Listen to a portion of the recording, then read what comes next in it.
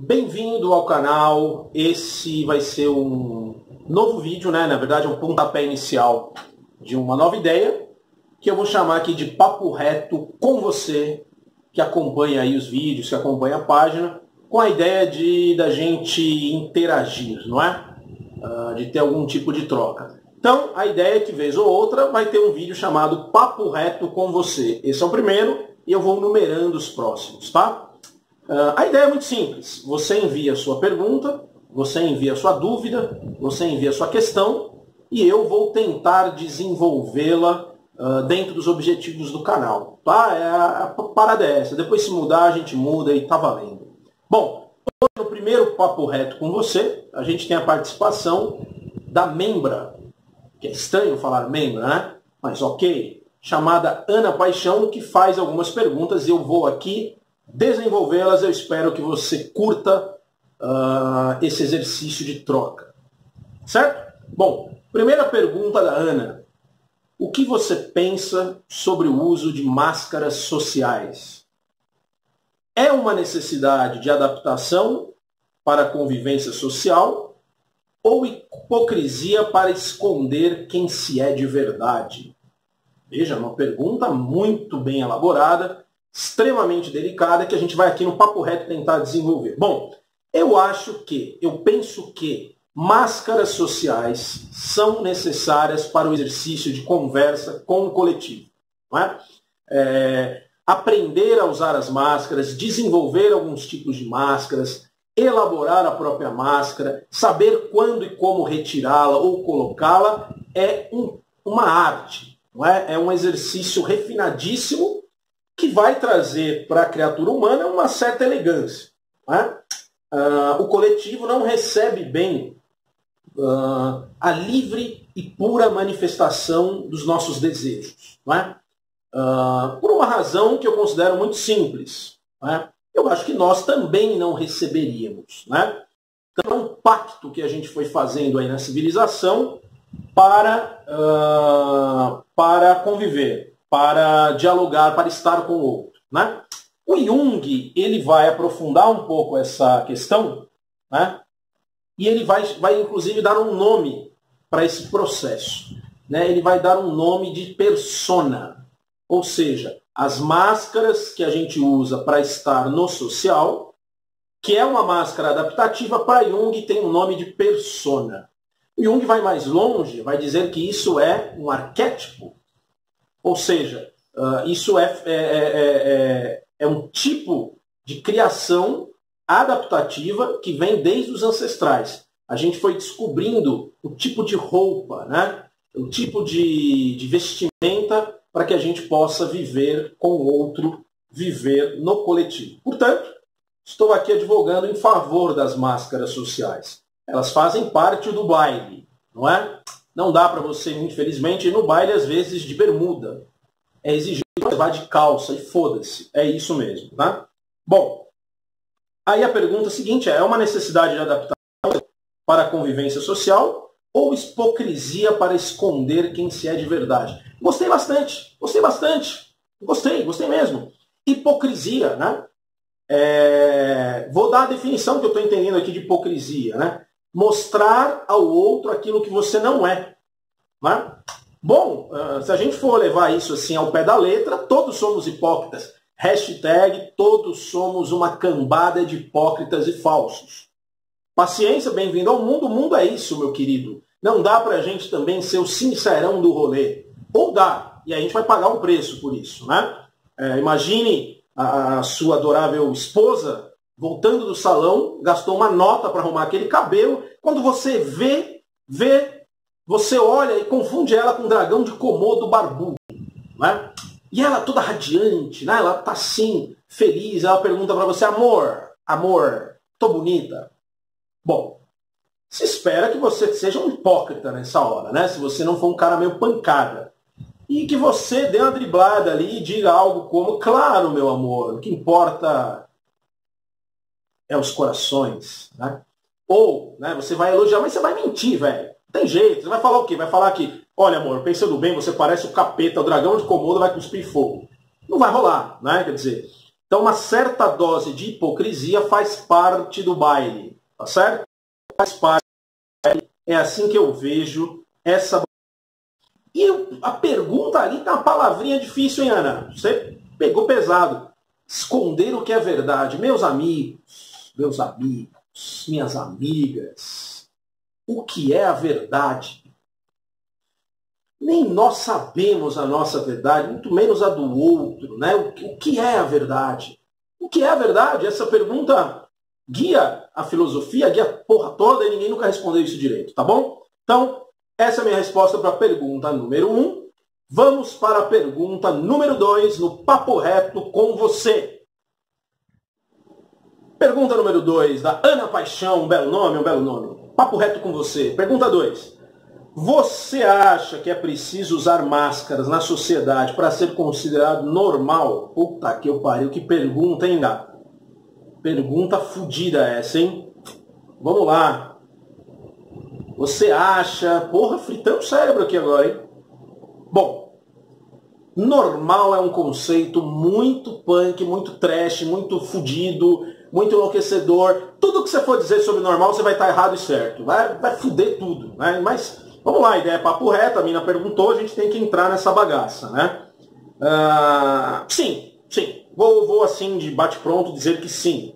De novo, caio nesse vala do senso comum de pensar uh, que uma certa normalidade ela é necessária, né? ela é, é, é, preferível, melhor dizendo, do que uma loucura plena. Né? Esses dias eu fui num sarau X, e era um sarau que, não, que, diferente de outros, não tinha regra nenhuma. Todo mundo podia falar o que bem entendesse, como bem entendesse e a hora que bem entendesse.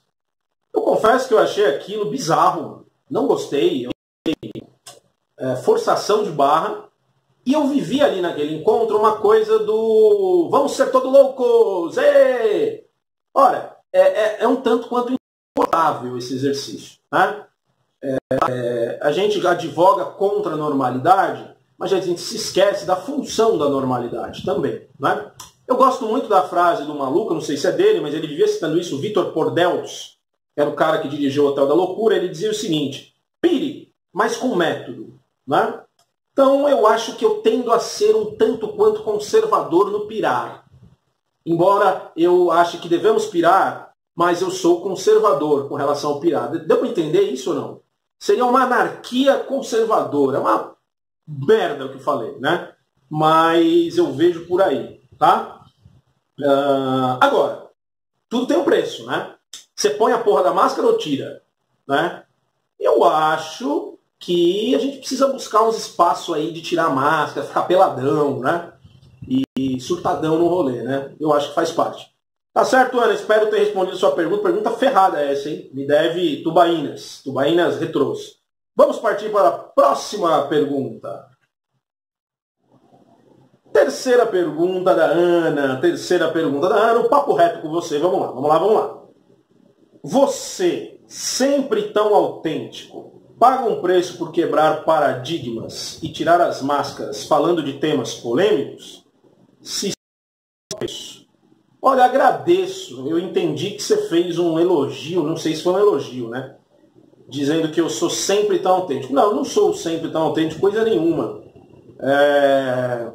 Eu acho que às vezes eu sou, às vezes não. E às vezes a minha própria autenticidade não é uma autenticidade. Nossa, que viagem isso, né? Mas enfim, pensei um pouco a respeito disso. Paga preço por quebrar paradigmas? Puta, super pago, né?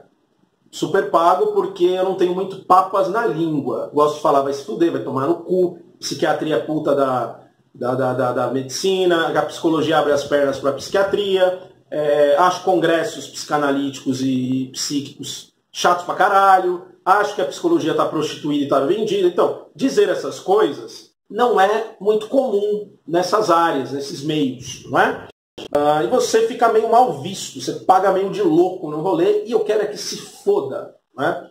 É, não sei se isso é ser autêntico, mas é de fato que eu penso com algum tipo de criticidade. Né? Mas eu gosto muito desse pensamento aforismático, a la Nietzsche, que é dar cacetada, porrada, tiro e depois a gente discute. Né? não é o pensamento da média, da norma. As pessoas não gostam de pessoas como eu. E eu não gosto de pessoas que não gostam de pessoas como eu. Que viagem, né? Mas acho que vocês entenderam, né? Bom, uh, né, né, né, pago um preço. Ah, pago vários preços. Ou as pessoas me amam ou me odeiam, né? Uh, mas quem me conhece mais de perto uh, consegue perceber outras facetas dessa lataria louca que eu expresso por aí, né? principalmente no meu trabalho. Né? Quer dizer, as pessoas veem que. É, aliás, vamos voltar um pouco nessa fita, né? O mundo chato, esse mundo da psicologia, mundo psi, né? As pessoas coachings, pessoas padrões, pessoas que não se manifestam, né? Que não é, fica, sabe, os videozinhos iguaizinhos, ah, lá, lá, lá, vai tomar no cu, é chato pra caralho isso, né? Bom, eu pago o preço sim, né? Na medida que você se expressa, se abre, se comunica, sem se preocupar muito com a opinião do outro, você está sujeito a julgamentos, a olhares, a interpretações que me irritam pra caralho. Né? Diz eu discuti com uma grande amiga, uma discussão feia, porque eu me senti interpretado. Né? Do tipo, olha, você é muito agressivo porque deve ter uma falta. Ah, vá! Ah! Claro que tem uma falta, né? Isso é muito óbvio. Ah, se você fosse amado, você não seria tão violento. Essas coisinhas, entendeu? Na, na medida que o cara que é medíocre, mediano, que fala normal, ele está mais protegido. Vamos falar de teorias, cognições, cognições, tá? Então pago o preço sim. Amor e ódio, as pessoas julgam e tiram as opiniões que quiserem e o baile segue. Mas o preço que eu pago por isso é um preço que eu pagaria dobrado. Captou? Não, não, não tiraria o meu investimento no preço que eu pago por ser quem eu sou. Alá Nietzsche. Chore com essa frase. Papo reto, vamos para quarta pergunta. Papo reto com você. Perguntas de Ana Paixão. Primeiro vídeo da série Papo Reto com você. Quarta pergunta e a última pergunta. O, que custaria mais para você? ter que vestir máscaras para agradar ou desagradar e ser criticado pela autenticidade, tem pegadinha nessa pergunta aí, hein, Ana? Você fez uma pegadinha do malandro aí, hein? Advogada, sábia, tá fazendo contradição para aumentar a minha pensão. Piada idiota, né? Vamos lá. O que custaria mais para você? Ter que vestir máscaras para agradar ou desagradar? E ser criticado pela autenticidade? Nossa, pergunta difícil, hein, mulher? Vamos lá. O que custaria mais para você? Tem que vestir mais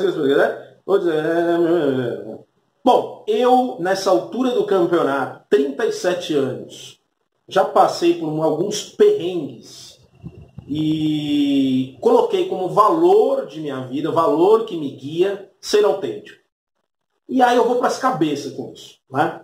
É, agradar ou não agradar, fica em segundo plano. Né? eu coloquei esse objetivo, esse foco de autenticidade a qualquer custo. Né? É isso que eu estou perseguindo. Posso mudar essa porra a qualquer hora? Posso. Mas no momento eu estou nessa pegada, tá certo? Bom, dificilmente eu vou fazer algo para agradar alguém.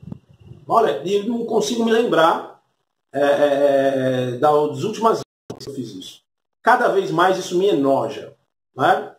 No, no atual cenário existencial, que amanhã pode ser outro, tudo flui, tudo é impermanente, e é o samba do, do crioulo doido. Né? Sobre as críticas por ser autêntico, eu não estou nem aí. Sinceramente, eu não estou nem aí. De algumas pessoas eu considero, né? eu faço alguma reflexão, somente de amigos mais próximos, de pessoas que eu vejo que têm um olhar mais profundo, né? Uh, faço alguns recursos, né?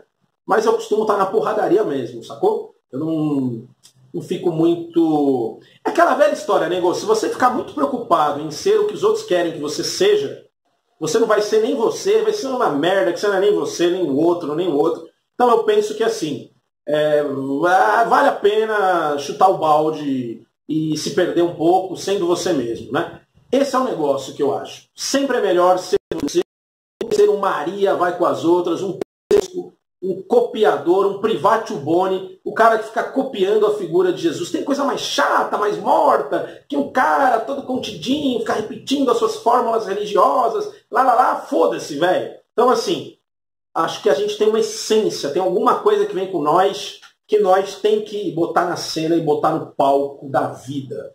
Tá certo? Bom, Ana, espero ter respondido suas perguntas. Esse é o primeiro vídeo, papo reto com você. Fique muito à vontade para fazer as próximas perguntas. Não tem nenhuma frequência ainda, mas de vez em quando eu farei vídeos como esses para ter um papo reto com você. Geralmente eu ponho essas chamadas na página do Ferci Brooks, Delírios, Poesia e Arte. Me procurem lá. Né? Uh, e aí a gente pode estabelecer esse contato de perguntas e respostas, ou coloque aí debaixo desse vídeo as perguntas que você deseja. No próximo vídeo eu as considerarei. Tá bom? Beijo no seu coração. Que os gnomos rosa de Santo Tomé lhe traga as pombagírias, os Exus tranca-ruas e todas as entidades indianas para que a sua mente continue cada vez mais caótica, buscando o início do tudo, do fim e do nada, porque nós somos montanhas. Beijo.